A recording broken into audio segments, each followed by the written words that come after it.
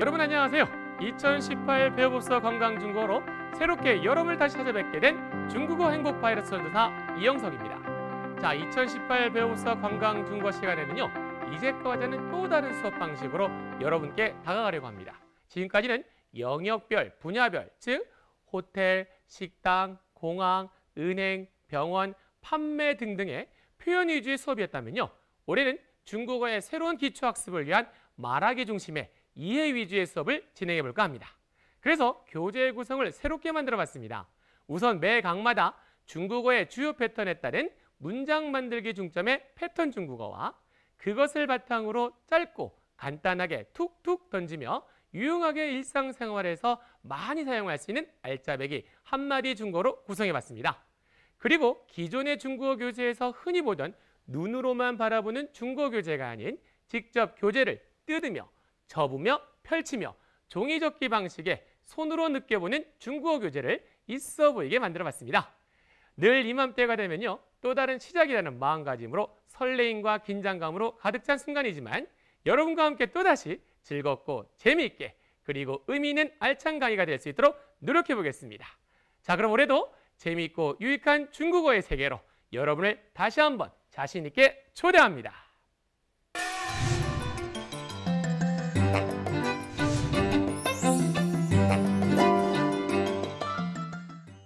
먼저 이 교재의 구성을 설명드리겠습니다. 2018 배워법서 관광중국어 교재는 매 강마다 두 개의 중국어로 구성되어 있습니다. 즉, 첫 부분에는요. 중국어의 주요 패턴을 바탕으로 몇 개의 소수 단어를 딱딱 갖다 붙이면서 다양한 문장 만들기 중심의 패턴 중국어 보일 거고요. 그리고 두 번째 부분에는 이것을 바탕으로 짧고 간단하게 툭툭 던지며 일상생활에서 많이 사용할 수 있는 알짜배기 한마디 중국어 보일 겁니다. 또한 다른 교재에선 찾아볼 수 없는 새로운 점이 보일 겁니다. 교재를 유심히 살펴보시면요. 매 장마다 가운데 점선이 보일 겁니다. 그 점선을 따라 교재를 반 접으시면 위쪽에는 한글이 접힌 아래쪽에는 중국어가 보일 겁니다. 보통 우리는요. 그동안 중국어 문장을 보면서 우리말을 해석하는 훈련을 많이 해왔을 텐데요.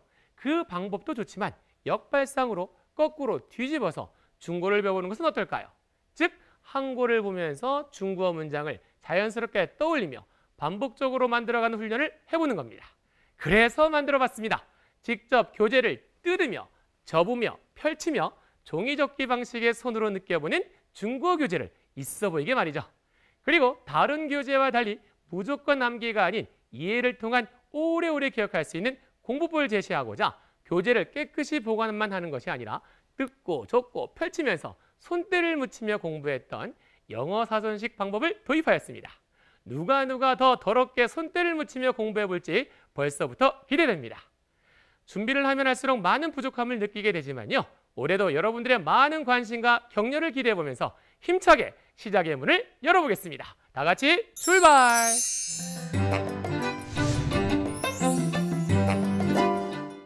먼저 지난 시즌과 마찬가지로 중국어 발음 옆에 그리고 밑에 친절히 한국어 발음 표기가 되어 있습니다.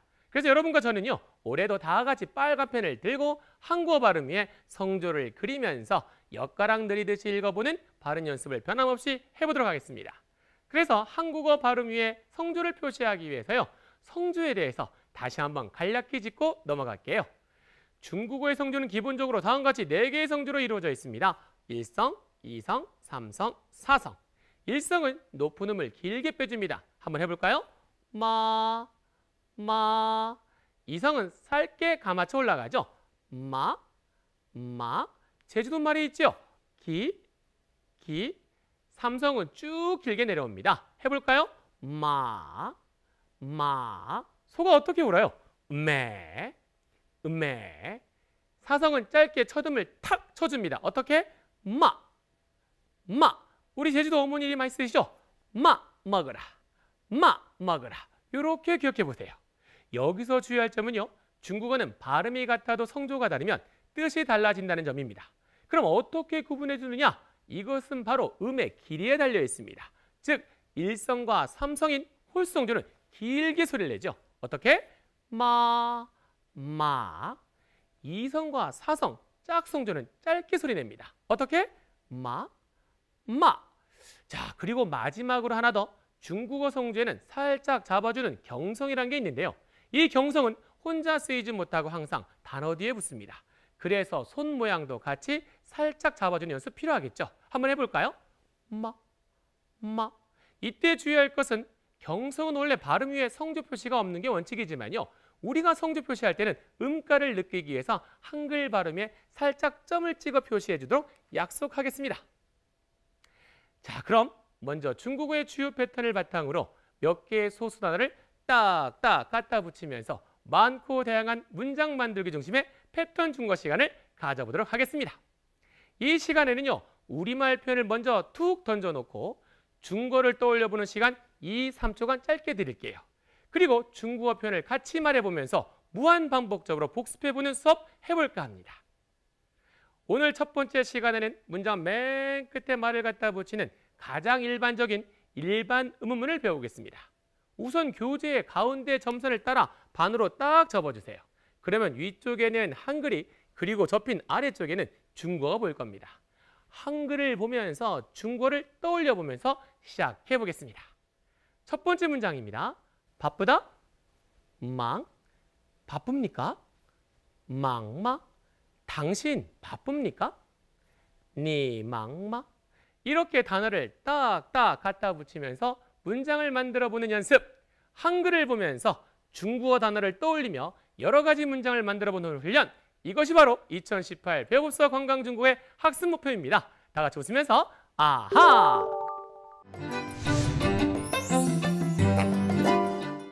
다음 문장 갑니다. 오다, 라이, 옵니까? 라이마? 당신 옵니까? 네 라이마? 계속 이어서 쭉쭉 달려보겠습니다. 가다, 취, 갑니까? 취마? 당신 갑니까? 네 취마? 먹다, 칠, 먹습니까? 칠마? 그는 먹습니까? 타, 칠마? 마시다. 허 마십니까? 허마 그는 마십니까? 타 허마 보다 칸 봅니까? 칸마 그녀는 봅니까? 타 칸마 이렇게 단어 하나에 다른 단어를 딱딱 갖다 붙이면서 다양한 문장을 만들어 보는 것 이것이 바로 이영석의 핵심 코콩입니다. 다 같이 웃으면서 아하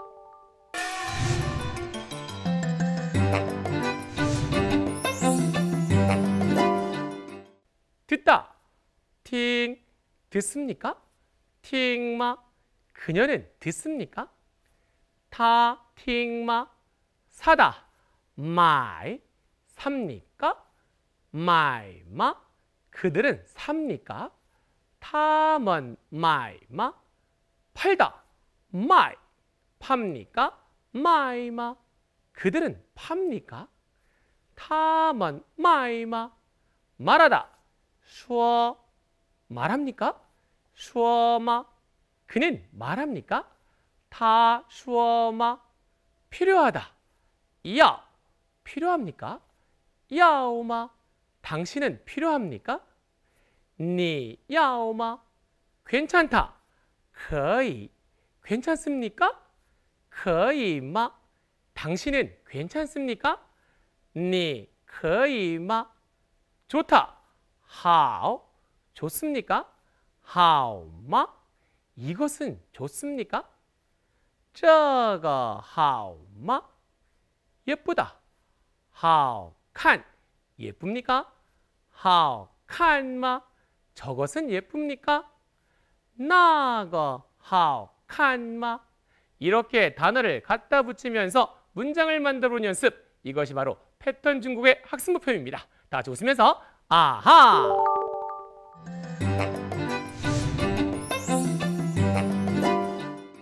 자, 그럼 이어서 앞에서 배운 패턴 중국어를 바탕으로 짧고 간단하게 툭툭 던지며 일상생활에서 많이 사용할 수 있는 알짜배기 헛머리 중국어 시간을 가져보도록 하겠습니다. 이 시간에는요. 중국어 문장을 어떻게 만들어가는지 그 핵심 포인트만을 살짝살짝 살짝 짚으면서 이해를 돕는 수업을 해볼까 합니다.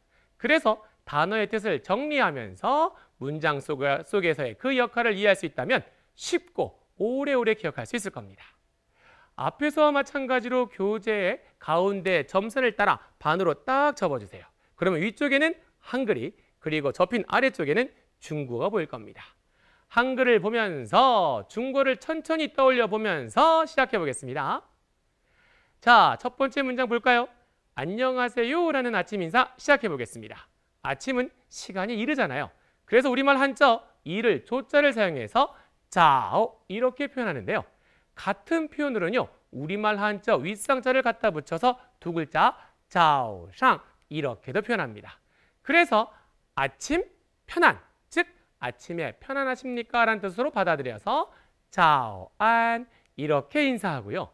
우리말 한자 좋을 호자는 뜻이 세 가지가 있죠. 첫 번째 좋다, 두 번째 안녕하다, 세 번째 잘 지내다와 같이 여러 가지 뜻으로 사용될 수 있는 유용한 단어인데요. 여기서는 인사 표현인 만큼 두 번째 안녕하다는 뜻으로 합쳐보면 아침 안녕 이렇게 받아들일 수 있겠죠. 그래서 말해볼까요? 자오 상하오 이렇게도 표현하기도 합니다. 자 그럼 이렇게 하나하나 단어 뜻을 이해하면서 쭉쭉 이어나가 볼게요. 안녕하세요라는 저녁 인사 응용해 본다면 저녁 안녕이란 결합으로 받아들여서 이를 조자의 반대인 늦을 만자를 사용하겠죠. 그래서 완상하오 이렇게 표현하고요. 잘 자라는 인사는요. 저녁 편안, 밤새 편안하세요 이렇게 받아들여서 완안 이렇게 결합되어 사용되게 됩니다. 이렇게 단어 하나하나의 뜻을 이해하면서 외워보신다면요. 쉽게 그리고 오래 기억할 수 있는 멋진 자기만의 암기법을 만들어 볼 수 있을 겁니다. 또한 이것이 바로 2018 배워봅사 관광중구의 학습 목표이겠죠. 다 같이 웃으면서 아하!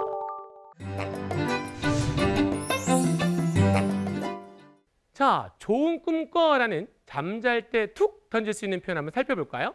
우리말 한자 꿈몽자를 사용해서 만들어 볼 수 있겠는데요. 우선 꿈을 꾸다라는 단어의 구조는요. 만들다, 꿈을 이렇게 이해하시면 됩니다. 그래서 어떻게 쭈어멍 이러한 두 글자의 결합인데요. 근데 꿈은 꿈인데 좋은 꿈을 꿔야겠죠. 그래서 하오멍 이렇게 만들 수 있을 겁니다. 그런데 중국어는 목적어에 수량사를 갖다 붙이는 걸 좋아합니다. 그래서 가장 일반적인 한계라는 의미의 이거라는 단어를 앞에 붙여주면 멋진 문장을 만들 수가 있겠는데요. 보통 회화에서는 이때 한일자를 생략해서 많이 표현합니다. 그래서 이걸 결합해 봤더니 주어가 하오멍 이렇게 말하게 되겠죠. 다 같이 웃으면서 아하!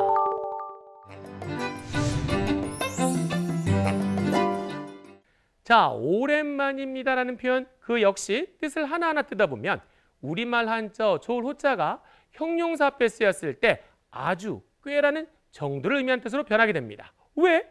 중거는 위치에 따라서 그 뜻이 변한다. 이게 특징이죠. 그래서 시간이 오래되다라는 의미의 우리말 한자 오래 구자 앞에 아주라는 말을 갖다 붙이면 되겠죠. 그래서 어떻게 아주 오랫동안 중국어로 하오지요 이렇게 결합이 되고요. 만나다라는 의미의 단어는요. 찌엔이라는 단어가 있겠죠. 이때 앞에 부정을 나타내는 뿔을 갖다 붙이게 된다면 만나지 못하다라는 표현을 만들게 됩니다. 그래서 아주 오랫동안 못 만났네요 라는 이렇게 이해하면 오래오래 기억할 수 있겠죠. 자, 이어서 잘 지내세요라는 말 역시 우리말 한자 앞에서 배웠었죠? 호자 역할 몇 가지? 세 가지가 있었을 겁니다. 첫 번째, 좋다. 두 번째, 안녕하다. 세 번째, 잘 지내다와 같이 여러 가지 뜻으로 사용될 수 있는데요. 여기서는 세 번째 뜻으로 받아들여서 당신 잘 지내다 까라는 결합으로 이해한다면 니하오마 이렇게 만들 수 있을 겁니다. 어떻게 지내세요에서 가장 중요한 포인트는 동사 뒤에 따라 부는 우리말 한자 얻을 득자 용법입니다. 이 단어는 중국어로 더, 덜어 읽으면서 그 뜻은 뭐하는 정도가 이렇게 쓰이게 됩니다. 그래서 지내는 정도가 라고 말하고 싶다면 우어더 이렇게 말하고요. 응용해서 말하는 정도가 라고 말하고 싶다면 슈어더 또는 오는 정도가 라고 말하고 싶다면 라이더 이렇게 만들 수가 있겠네요. 그 정도가 좋다, 나쁘다를 그 뒤에 붙여주면 멋진 표현을 만들 수가 있겠죠. 그래서 지내는 정도가 어때요? 라는 단어 결합으로 지내다 정도가 어때요? 이렇게 받아들여서 꾸어다 점모양 이렇게 말하면 되겠네요. 그 대답 역시 잘 지냅니다라는 말은요.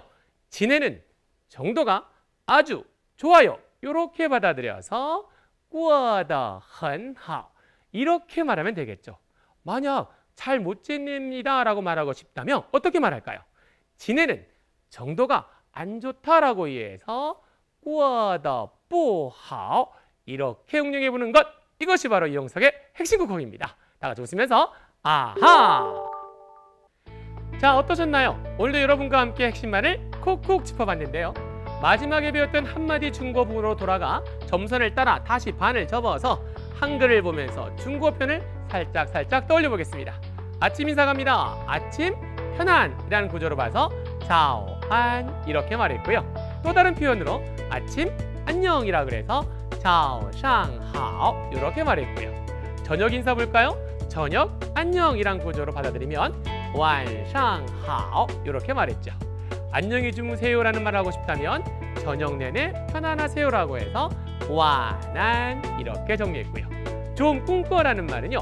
만들다 한 개의 좋은 꿈이란 구조로 봐서 쭈어가 하오멍 이렇게 말했고요. 오랜만입니다 라는 말은요. 아주 오랫동안 못 만났네요 라고 해서 하오지오 부지엔 이렇게 말했죠. 잘 지내세요 라고 안부를 묻고 싶다면 당신 잘 지냅니까? 라는 문장 구조로 봐서 니하오 마 이런 구조로 봤고요. 어떻게 지내세요 라는 말은요. 지내는 정도가 어때요 라고 해서 꼬아다 점마야 이렇게 말했죠. 그에 대한 대답은 잘 지냅니다 라고 말하고 싶다면 지내는 정도가 아주 좋아요 라는 구조로 와서 후어다 헌하 이렇게 말했었죠. 자 그럼 여러분 다음 시간에도 웃으면서 만나요. 자 이젠